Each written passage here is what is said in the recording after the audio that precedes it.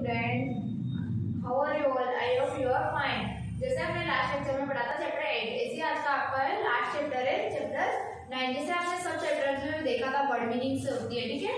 जो आपको क्लास में लिखाई जाती है ऐसी आज के अपनी वर्ड मीनिंग है चैप्टर नाइन की। आपका चैप्टर का नाम क्या द नोटी बॉय मतलब शरारती बच्चा। तो हम पहले उसकी वर्ड मीनिंग रीड करेंगे, जिससे आपको ट्रांसलेशन में इजी हो, ठीक है? सो हम आज की वर्ड मीनिंग स्टार्ट करते हैं।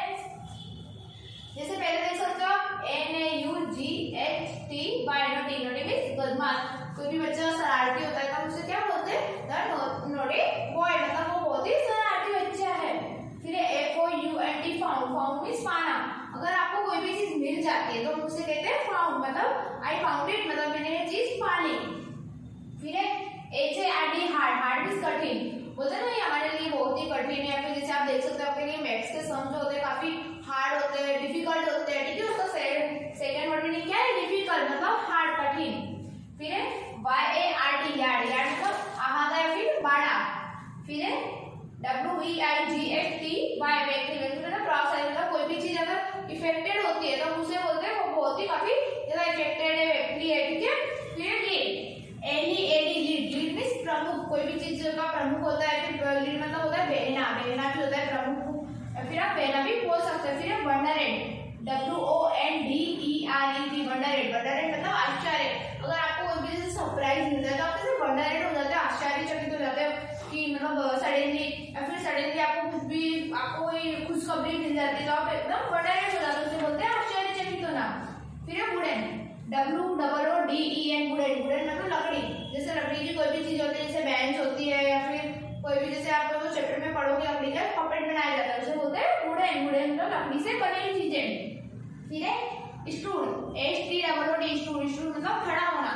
और स्टैंड का सेकंड फॉर्म है स्टूल फिर है people P E O P L E people people means लोग जैसे काफ़ी ज़्यादा लोग होते हैं, जैसे बोलते हैं क्राउडेड क्राउडेड प्लेस पीपल मतलब वहाँ पे भीड़ वाली जगह में काफ़ी ज़्यादा लोग हैं। ऐसे हमारे जो पर्सन होते हैं, उन्हें बोलते हैं people so students I hope आपको आज की वर्ड मीनिंग समझ में आई होगी। आपको ये सारी वर्ड मीनिंग आपके चैप्टर में सॉरी नोटबुक में राइट डाउन करनी है एंड लर्न करनी है। So thank you everyone so students हमने पहले इसकी वर्ड मीनिंग रीड की थी और सो अब हम इसका चैप्टर का ट्रांसलेशन स्टार्ट करेंगे, ठीक है? सो स्टार्ट करते हैं। द नोटी बॉय नोटी मतलब मैंने आपको बताया था, शरारती, बदमाश बच्चा। There was a naughty boy and a naughty boy was he यहाँ पे एक शरारती बच्चा था और वो शरारती बच्चा ये है, जो मतलब आपको यहाँ पिक्चर्स में आप देख सकते हो साइड में कि यहाँ नोटी बॉय की पिक्चर दी गई है, ठीक है? He run away to Scotland. वह दौड़कर कहाँ गया? स्कॉटलैंड गया स्कॉटलैंड एक यूके का एक पार्ट है, ठीक है? और एक यूके सिटी है। और वहाँ का एक स्कॉटलैंड एक पार्ट है, जगह का नाम है the people there to see. वह स्कॉटलैंड दौड़ के क्यों गया? क्योंकि वहाँ के लोगों को देखने के लिए।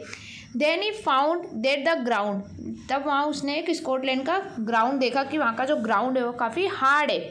That a yard was as long. जो यार्ड है डिस्टेंस यार्ड आप जानते हो, डिस्टेंस मेजर मेज़रमेंट करने के लिए होता है जिसे जैसे एक यार्ड में three feet three feet measurement होता है, ठीक है?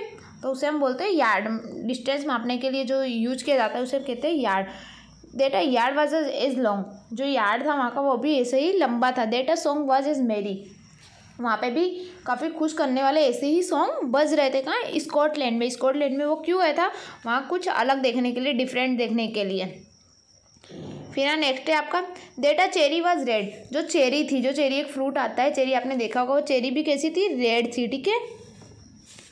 डेट लीड वाज व्यक्ति जो लीड लीड मतलब होता है शीशा जो वहाँ का शीशा था वो भी बहुत काफ़ी भारी था, जैसे उसके इंग्लैंड में था, जो जहाँ से वो लड़का आया था, कहाँ से आया था? इंग्लैंड से तो वहाँ का शीशा भी काफ़ी भारी था स्कॉटलैंड में।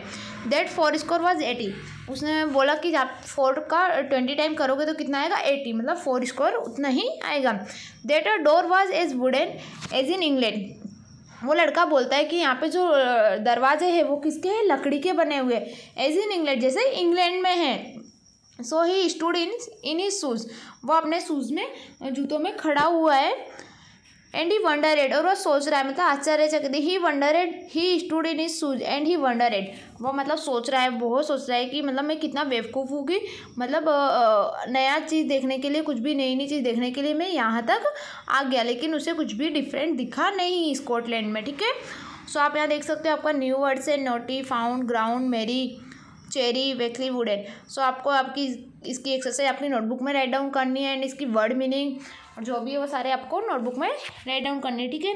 Thank you everyone